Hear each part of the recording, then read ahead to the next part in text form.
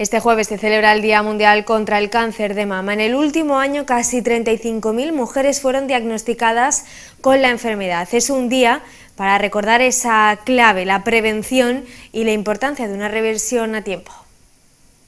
Este jueves 19 de octubre se conmemora el Día Mundial contra el Cáncer de Mama, el tipo de cáncer más frecuente entre las mujeres y del que se han diagnosticado hasta 34.740 casos en 2022, según las cifras del Observatorio de la Asociación Española contra el Cáncer.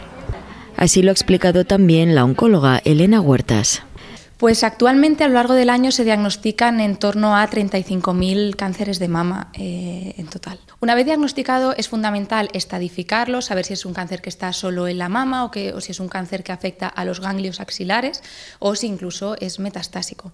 En el mejor de los casos, si solamente está localizado en la mama, eh, hay que planificar la posibilidad de una intervención quirúrgica. Este tipo de cáncer también es el tercero más detectado si se incluyen todos los casos de cáncer que afectan a ambos sexos.